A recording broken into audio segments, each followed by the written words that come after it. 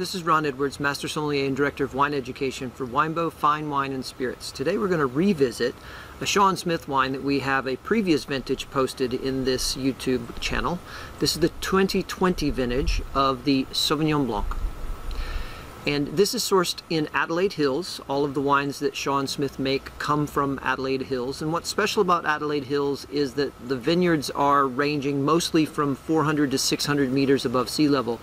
And that doesn't seem like high elevation, but when you come off the flatlands of Adelaide and you hit that elevation quickly, it changes a lot, increases a lot of rainfall, um, shortens the growing season significantly, and makes it much better suited to delicate varietals like Sauvignon Blanc and Pinot Noir and Chardonnay, which they specialize in.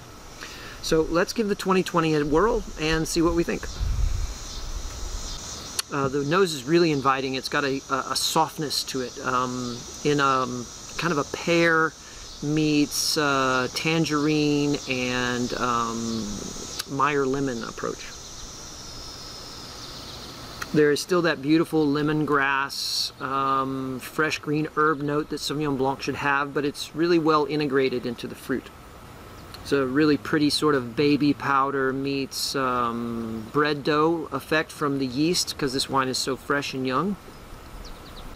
And now it's coming to the pink grapefruit. And this beautiful uh, exotic uh, passion fruit meets guava note. Let's see what it tastes like. Really fresh, really vibrant. Um, I love the texture of this wine. It is not lean like you expect out of a lot of Sauvignon Blanc. It has a little bit more weight, a little more texture. Uh, it kind of uh, coats across the palate and then refreshes at the end with the really beautiful acid balance. Flavor profile is very similar. So there's plenty of uh, pink grapefruit. There's this beautiful uh, passion fruit meets guava up front in the flavor profile. There's a cross between uh, lemongrass and fresh snap peas uh, as a flavor that's reflecting the fact that it's Sauvignon Blanc. Um, the Meyer lemon is there as well as some fresh lime that wasn't necessarily showing in the in the nose. And um, it just finishes wonderfully long. This is a great example of what Sauvignon Blanc should be.